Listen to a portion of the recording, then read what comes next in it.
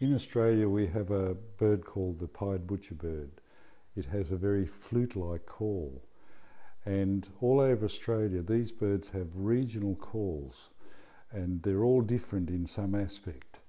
So I'm wanting a wildlife cameraman to travel around Australia just filming the pied butcherbird.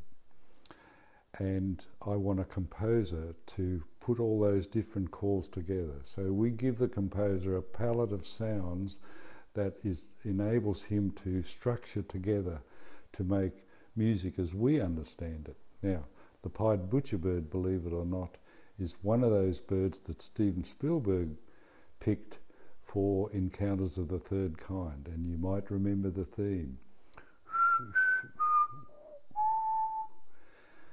That is its flute like sound.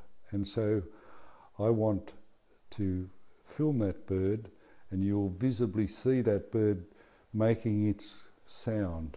But I want to add two of the best flautists in the world to do the counter melodies for that sound. So you'll have the birds and two human beings, one an Andean flautist and one uh, one of the best flautists in Australia, playing those counter melodies with that bird.